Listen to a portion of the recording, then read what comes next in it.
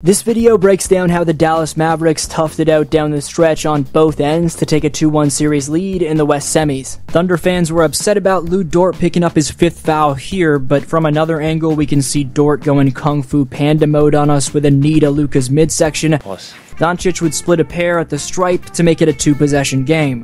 Doncic hedging this Wallace ball screen and Jones Jr. cutting off Alexander's driving angle forces Shai into a short corner drop-off, Cason tries pitching to J Dub, but Williams responds to a clogged lane by instantly kicking right back to Wallace. The Cason brick is snagged away from Holmgren with this springy Washington rebound. It had been working before this, but Thunderman in charge Mark Daigneault would continue hack-a-shacking Dereck Lively II in the clutch. The rookie made the Coach of the Year pay by staying mentally poised to hit a pair. This play sees Mark Daigneault draw up a five-out handoff between Holmgren and Williams that flows into a Kansas action, which consists of Joe slipping a back screen for Dort, and then Isaiah getting a pin down from Holmgren, and it's Joe coming through. Jason Kidd leaving Lively in and trusting his rookie even after some fourth quarter misses before this final 407 breakdown began would pay off for a second time in the clutch. OKC hack-a-shacks Dereck yet again, but he proves the coach of the year wrong for a second time by locking in to donate these key charity stripe attempts. Watch Luka hedge this SGA pick and roll, then clog the paint as the low man to shut down the Holmgren drive before picking up Dort who he ends up funneling to the paint, where the Thunder spoil great defense as Luguentz drives and dishes to J Dub for this contested leaner. Joe intercepting this Kyrie entry leads to Isaiah immediately throwing away his own steal to Doncic. This gives the Mavs numbers and leeways a Slovenian finger roll, this Oklahoma play sees Alexander draw what I like to call a regular season foul. Shai stopping short to embrace the in position Washington contact sees him then carry his self created momentum forward to make PJ's contact seem illegal. That was illegal, man! That was illegal! The end result is two made Shai free throws. Lu Dort playing outstanding pick and roll defense on Doncic forces him to step back and miss. However, the next Thunder possession, after getting clamped by Kyrie, Alexander just tosses it to the strong side, where Doncic forces a very questionable jump ball that should have been a play on. Doncic would win the jump ball, then entry to Washington, who attempts to expose a mismatch, but it's a brick.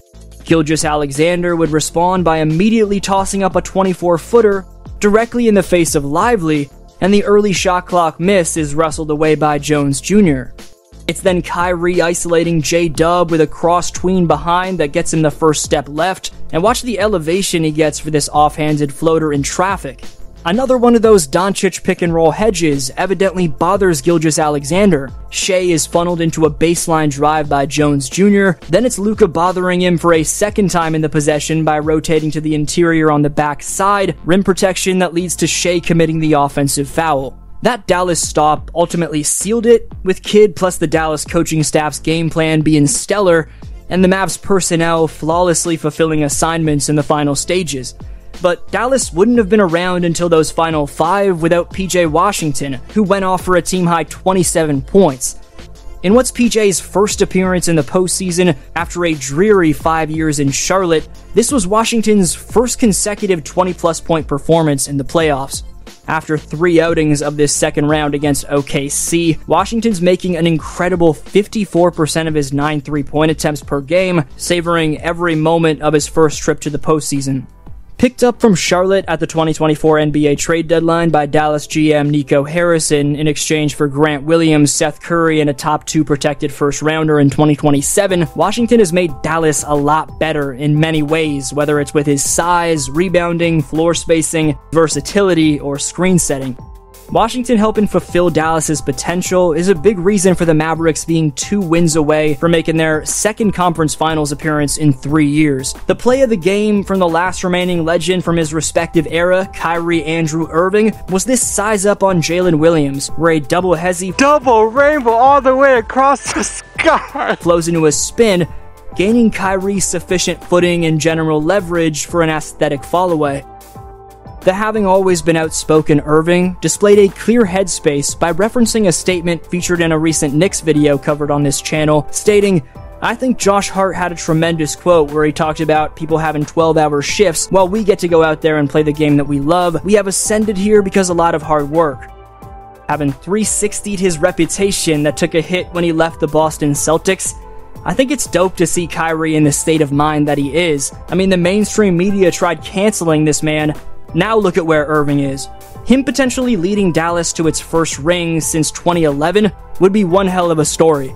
Meanwhile, for Luka Doncic, we'll get to more on the incredible defense that he played, but the superstar stated that quote unquote, everything is hurting post game, going on to say that he hurt his knee again and that he needs all the rest he can get for game 4 on Monday in Dallas. We looked at the final 407, but let's go back to just over a minute before that in game 3 to witness some exuberant Mavericks D that changed the personality of this one. Dereck Lively II switching onto SGA leads to a kick to the right corner. Irving pressuring Dort, then gets J double look, who attacks downhill and is met with a great straight up contest by PJ Washington. On the very next Oklahoma possession, it's Luka switching on to Shai and forcing a midair kick to the left corner. When it's swung to the top of the arc, Doncic rotates for an outstanding second effort to force the Lu Dort turnover. Luka's effort level and positioning shows you he is a better defender than people give him credit for. Doncic ranked second among point guards in defensive rating this season, which only trailed Minnesota's Mike Conley. This makes Luka one of the best point guard defenders in the association, regardless of those trying to label him as a subpar defensive player. The first matchup of this second round was controlled by Oklahoma, while Game 2 was one handedly by Dallas. But Game 3 showed us the Mavericks' ability to execute under pressure in close battles, maybe a step ahead of the Thunders. Let me know your predictions for the rest of this second round Oklahoma Texas battle down below in the comments section for a chance at next video shoutout. The two commenter shoutouts for my last upload and this one go to firstly Euthanasia, who says, Wolves in 6, Soda is too deep. What they do to Jokic is not out of the normal for this defense. Jaden, Naz, and Ants can limit Murray and MPJ. Jokic will get his 30 but won't get triple doubles. Soda is legit 8 to 10 deep. All play great defense and can shoot. Naz is a 50 40 90 guy. Naz and Monte Morris are career 36% three point shooters. Slow mo hits that runner. Denver lost Jeff Green and Bruce Brown, who were 40 plus percent three point shooters last year against the Wolves in the playoffs. Finally, Soda has only lost back to back games four times all year, two of which KAT was injured at the end of the year. They never lost three in a row. As KG once said, we comin'. And secondly, to Raven M, who says that the best moment of Game 2 for the Timberwolves was the crowd chanting MVP for Ant Man on Jokic's home court. If you enjoy my content, please subscribe and hit thumbs up to help this video survive in YouTube's algorithm. Thank you tremendously for your support. Your boy DFlow signing off, and I'll see you next video.